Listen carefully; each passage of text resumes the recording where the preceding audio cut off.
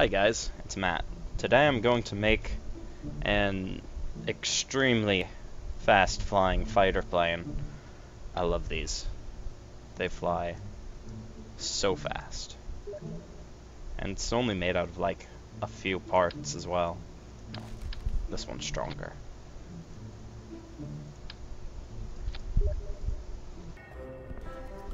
Alright, here it is. It's got a ton of air intakes. And I went with a bicoupler here. Let's call it the Firebird. Um, yeah, just that. I think, I can't even remember. I made lots of these before, but I, earlier I made it with Lackluster Labs, and it got you like this square fuselage, which looks mm, a bit better. I think this one has more fuel though. So, you win some, you lose some. Let's see if this works. It probably will. However, I had confidence in the last airplane I launched, and that thing didn't work. And this is already turning to the side.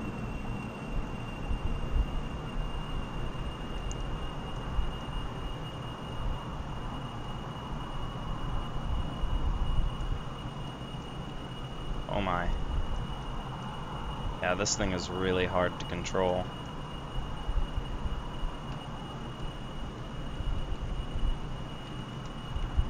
Whoa.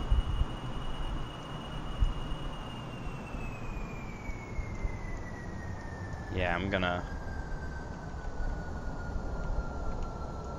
try and mm, go try and land this and uh-oh. Throttle up. Throttle up.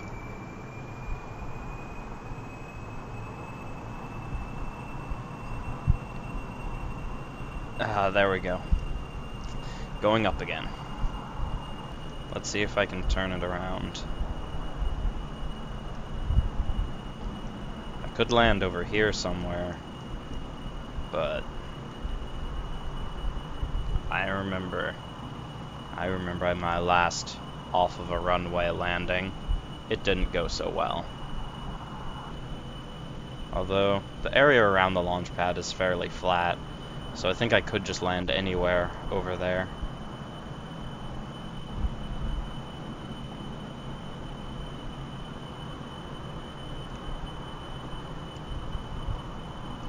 I think what I need is some wings up here.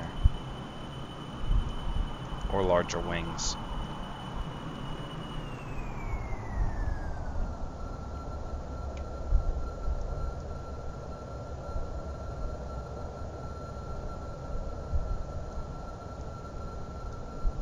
Look, it's Menmoose.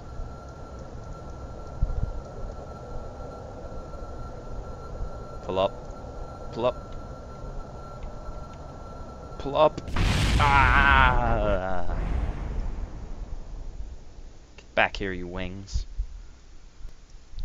Alright. I've widened the wings. Let's see if this works. I also put some wings up here and it has more air intakes. A lot more.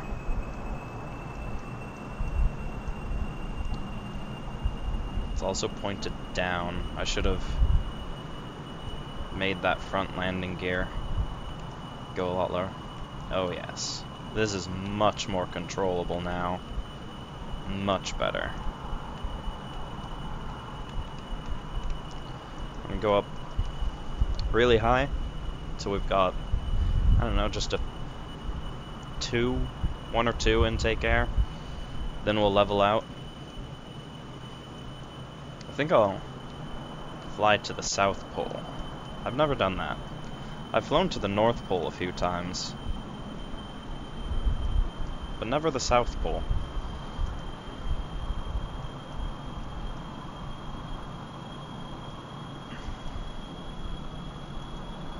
Alright, I'm gonna level it out now. Have to be careful about this. I've had lots of airplanes that uh, turned too quickly and ended up spinning out of control. when I was trying to just like turn around. It's not fun.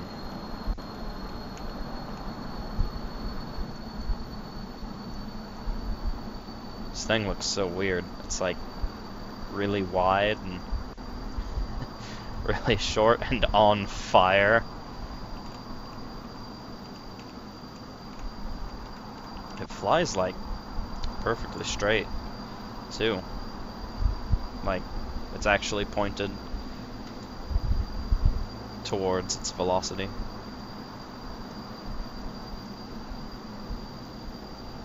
Look at that thing. take some screenshots for the thumbnail.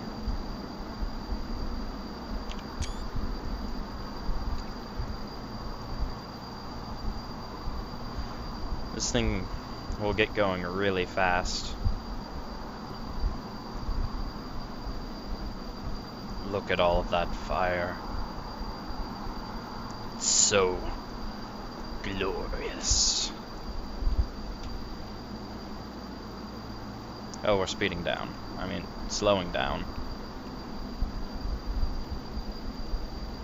It's really important to maintain a constant altitude right now. Stay about as high up as you can for the intake air to still be enough to fuel the engines. Oh, right. I was wondering why half of my liquid fuel was gone. And I remembered that I only filled up the tank halfway.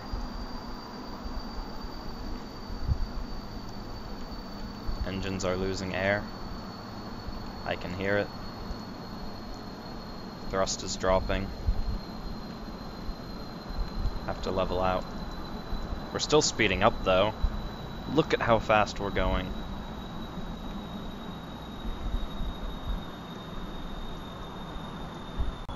Don't think the engines will flame out soon, though. I'm pretty sure I can take these to .02 intake air and still be fine. Well, not really fine at .02, but I think they'll still work until we drop just below .02.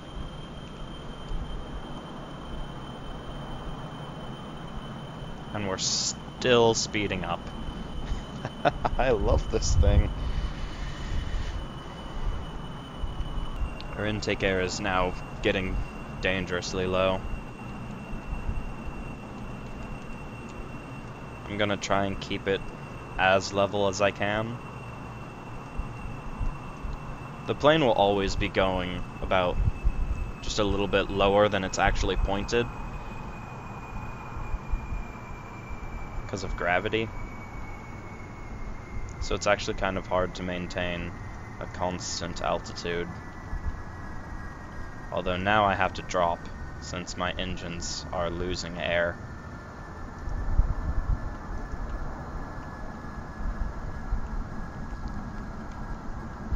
And I'm also losing control with these control surfaces. That's why I put the big reaction wheel on. There we go.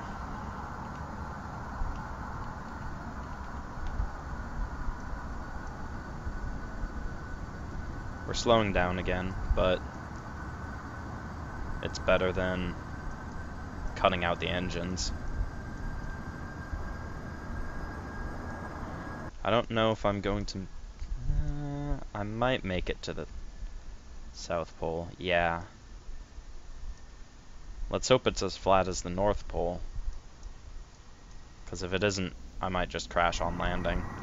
Although this thing controls much better than the last two airplanes I made. So it should be fine. And we're going up again. Want to pitch down a little bit.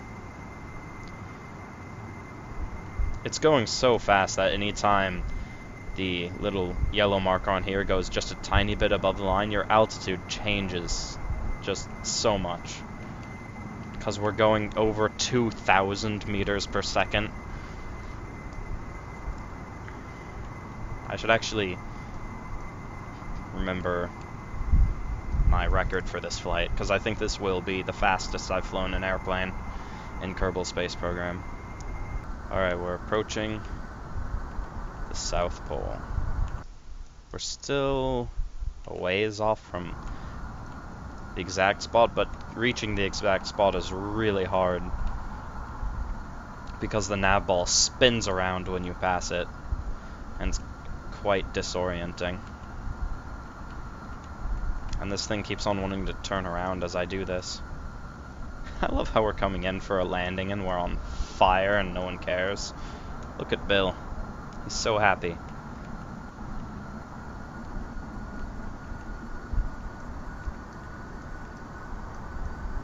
I didn't put air brakes on this, so... Oh, that looks so cool. Take more screenshots. I, I might take more screenshots. Oh, ho, ho, ho.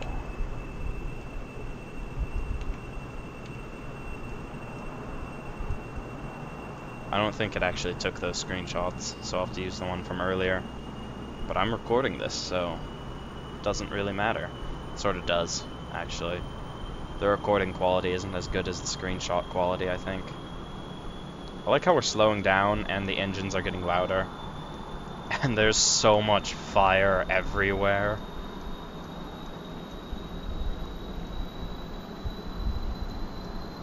It's actually, it actually says we're in orbit. No, we're on the surface.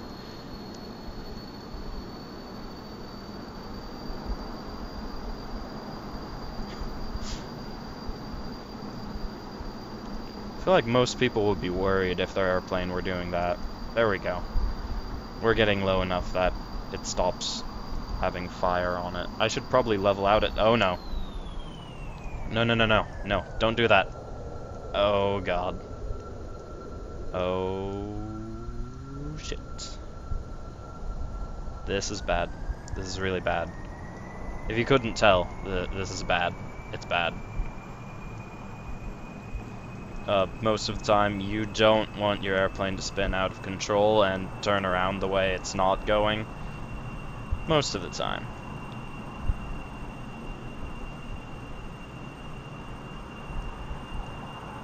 I wonder what this looks like in chase mode.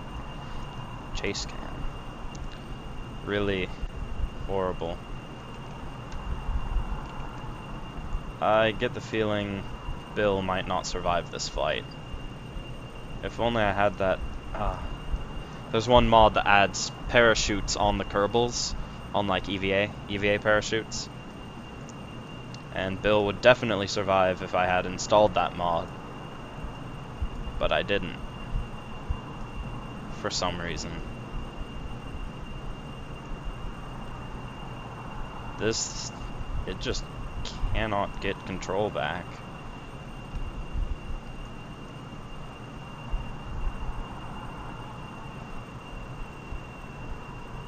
Oh. Oh, yes. Yes. I'm in control again.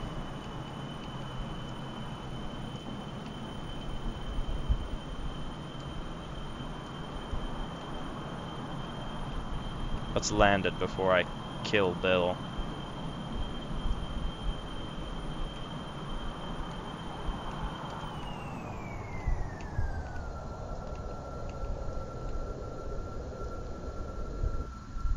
I just remembered one time I was using the laser system and afterburners, and I actually got these engines to get to start overheating, like dangerously high overheat, and I found out that they actually glow like a pale green when they get really hot. I think it's supposed to be white, like white hot, but it might have been because the afterburner's like a big blue flame. But it looked, it was pretty cool looking. And I had I just had like bright green glowing engines. I might make something that does that. This place is very flat. I'm also very timid about this landing as my last two landings have been complete failures. But this one looks to be a success. Wait. I was about to click EVA on Bill, but I don't think he can actually get, back into this airplane. it's kind of funny how I don't know. It seems I feel like most people don't actually have ladders up to their airplanes when they're making them in Kerbal Space Program. Although I don't watch a lot of Kerbal Space Program videos, mostly just the ones Robbaz does, because they're awesome. Watch them. Yeah, that's about all I have for today. I really just wanted to show off that awesome flaming while flying thing. So, that's it. Goodbye.